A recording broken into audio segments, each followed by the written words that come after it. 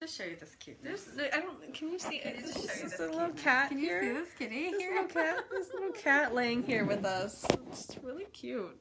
Sorry, there's just a little cat here. So cute. Vlogging with us. She's just like having a good time. Uh, okay, so uh, some medical issues have been happening as well. So um, And, I, and this will ha- sorry, and this will happen when Right. you start to dig into your health. of course, So be prepared. Yeah, and, and we knew we knew something something would happen. Something would happen.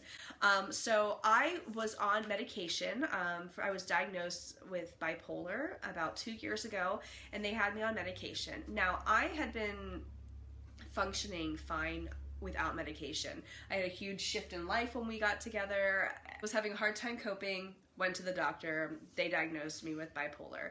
Um, and so I was on medication. Absolutely, it was helpful. Um, you know, I think that I, after playing around with medications for a while, they had me on something sustainable that I did well with for about a year. I was on that for over a year.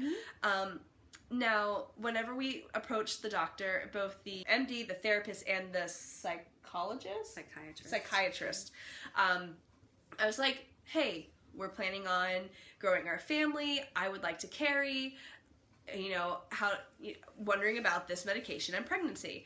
And the psychiatrist printed out this huge stack of things and said, read, Read this, this. and then let me know what you think. Okay, so I read through. They they they don't have an answer. No doctor can give you an answer because they don't do testing on pregnant women. And yeah. So they can only kind of do anecdotally what happens to the woman while she's pregnant, and then do you know? and it has to be my decision in the end. Like it has, I have to make the decision. right. And so That was enough to. that was enough for me to be like, hey, you No. know what? At this, at that moment, we had already decided to push back our timeline, and I was like, okay, so if we're not really hit and go till fall or maybe even January, how about I I stepped down and we did a nice, a really gradual. slow taper. Really gradual, really, what do they call it? A conservative taper Yeah. off of my medication. and it went so well. really smoothly um, that you know i know what i need to personally do. I'm a very i have uh, high energy so i knew that me um, i i started making bath bombs and and other bath products. It was a way to keep my hands busy. And when i have a way to expend that extra energy it's it's eaten up versus it uh, circulating through my body and um, it, it was it's a It's manifesting in a negative way. yeah so it's positively channeling that energy. And so i've been doing that all um, all spring and I, I feel like i've been super balanced so coming You down off this and um, you know and but and i still have my therapist and everything so you know uh, I still have this team of doctors, and we're going to watch and see what happens.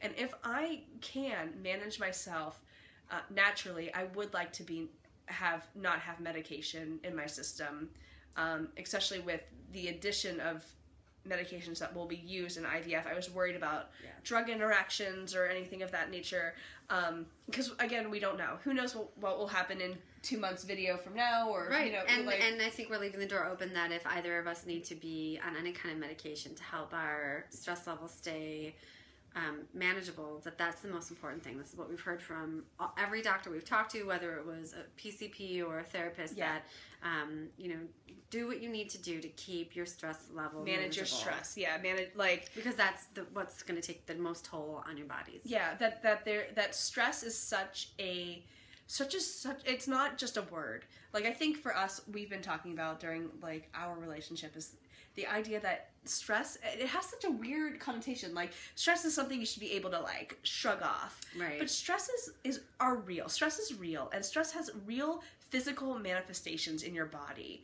And it, like it it's not- just a psychological thing. Like your body actually Right, reacts to right, it. So yeah. um so this spring we've taken the time to you know taper taper off that medication to be medication free now for i Yeah. think two months Yeah. and um fe- i feel great um and um but during this time i also had another medical issue happen um uh surprisingly uh which you thought was the bath bombs I thought she was in, con- ingesting somehow. She the- thought that I had citric- products yes, from like- like citric acid making them, and she was getting sick from ingesting like bath bombs. But that's not. That's what not happened not what happened. Well, I thought too. I was like, oh my gosh, I must have been like eating while I was making them, and I was like racking my brain.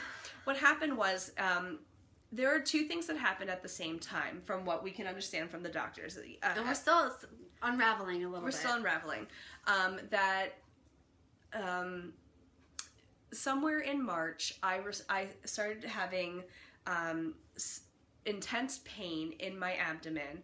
Um, and that would wake me up at night. The episodes would last somewhere around an hour to two hours, um, and it would be super intense. It would make me sick. Um, some- Usually followed with nausea or vomiting, yeah, and and then chills and also sweaty like all those, chills. yeah, all these things, and then it would go away. But then I I started to panic. But by the end, after a week of this, I was like, every I was like I'm scared to go to bed I every was night. scared, like every night. Um, and so finally, you're like, you need to go to the doctor. And so we go to the doctor, and then I have no symptoms for two months. So, anyways, we're doing all the testing because right, we're already on this on this journey, even though I'm asymptomatic at this point. Um, but they found gallstones. They're like, oh, gallstones. You have a gallbladder. Your gallbladder. uh, You, you have Needs to come out. Needs to come out. That's and I'm the- like, that's oh, because I've never had surgery, so I I'm very leery about this whole surgery process. And also the fact is that um, for those that you don't know, the gallbladder um, is attached to your liver, and that the liver, like it's kind of like the little carrier for your bile, like while the liver's processing, then it goes back through and then it, through your system. Now, if your gallbladder's out, yes, you can survive without it. That's why they remove it. That's why lots of people have it. But that means that that bile then goes into your intestines instead. A lot of TMI, but hey, we're just telling you things. These are facts. You need to know these facts. These are facts.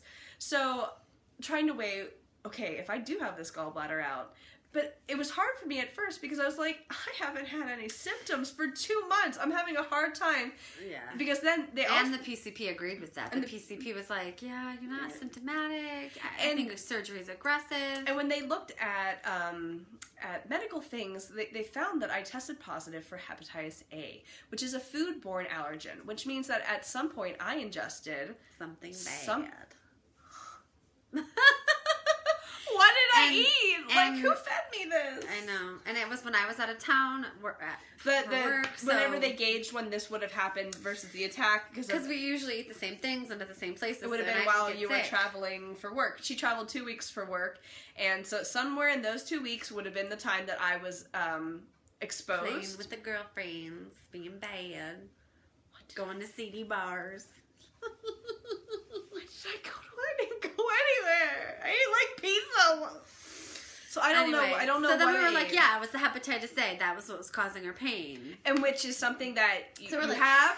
You have it goes through and then it's out of your system. So they didn't even. I they didn't even get to medicate me because I was She already through it.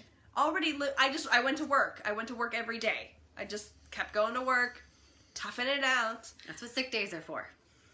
Well, then um, just recently, this past week, I had another episode. This episode lasted four hours. Now, uh, and and so um, I I mean I do know that the week the weekend previously I did have a fun weekend. Like I I my friend town. you were out of town, so my fr- my friend Amanda and I were like party, and we literally played video games and ate pizza and junk food. Thirteen-year-old boys. I know. We, we decided to be like, let's, let's have fun. So I paid for it on Thursday. But that tells And it me was a that pretty scary episode. it was really scary. It was at my parents' house, and it was uh, it was absolutely terrifying. Um, and okay, so called the doctor, said, "Hey, if, I had another episode, and they can't see me for two more weeks. Um, and uh, they said if I have another episode that lasts You need to four go to the hours or ER. over, you have to go to the ER right away. Okay. Um, so okay, so I'm eating very carefully now again.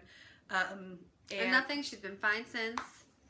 Yep, I mean couple it's it's been yeah, it's been about two days since um, the attack, um, and So we're in a, we're in a place now. So my my dealing with this. my dad does uh, microcurrent therapy, which um, has been helpful for things like last year when I had a concussion.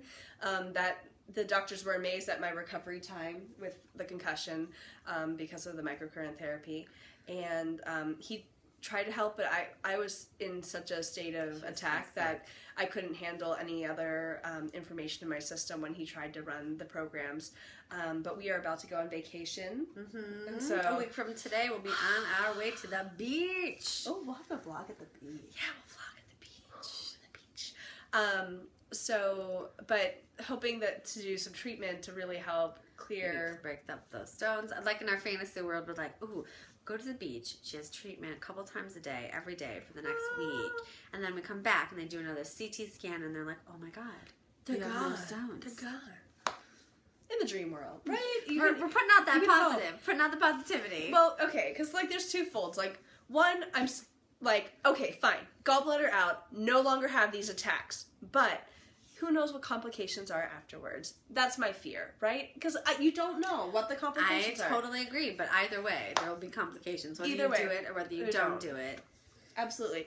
I mean, and you know, or we we get this, you know, because I don't, I don't. We, we also, yeah, go ahead. The, the real issue was when we when we met with the surgeon the first time, um, when she was asymptomatic and we were pushing back on surgery was awfully aggressive. Why are we doing surgery? He said, "We'd rather have it have surgery now then you have an attack when you're pregnant and have to do emergency surgery on a pregnant woman." Yes, which, we Which- we know someone who's that ha- that's happened to. And it was terrifying. It was really terrifying for her and the baby, and they had to monitor. I mean, Nobody wants that. luckily she did great. The So baby the was great, but that's not something that if we can't avoid that, we want to we Right. want to avoid And, that. and so does the surgeon, and the PCP agrees with it. Our next stop is um, the OB, and we have a an OBGYN appointment. Yes. Um, coming up also. yeah, in like, two weeks, like so right, back to talking- back. Yeah, the surgeon and the OB within the same and we're sort and- of um, putting all three of those doctors together um, the pcp the ob and the, and the surgeon and sort of collectively pooling their thoughts about all of this.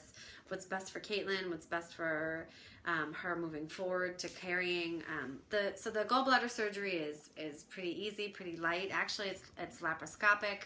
They can go in same day in and out. And actually- recovery time is is great too and And in um, the city that we live, they have access to the machines for the laparoscopy. yeah, so we're, like, so we're that- lucky that it's it's machine oriented and um, that would be a you know fairly easy surgery for for you.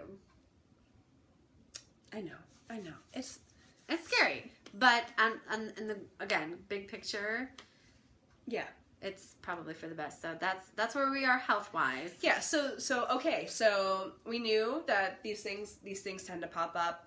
Okay, but hey, I'm much. I am so glad that this is happening now before we are even trying IVF. If this all happened in the midst of it, we would really be we're doing this now. We're taking care of it now. I mean, we've already been really focusing on our health. I, we talked in another video about Healthy our living. healthy living, healthy about wife, healthy life. yeah, that we're we're really focusing on, on our on our health. How do we how do we manage our manage our stress? Like we were saying. Yep. How do we eat better? How Yep. do we how do we get more activity in our life? Excuse me. Thank you. Thank you for watching. Uh, we had an allergy attack, so we just decided to call this video quits. Um, but thank you for watching uh, our kind of lengthy health update video. Please hit subscribe if you haven't. If you have any advice um, or questions, please feel free to leave it below in our in the comment section. Uh, we really want to be open and honest as much as we can be in this process. Um, so your opinion does matter. Thank you so much.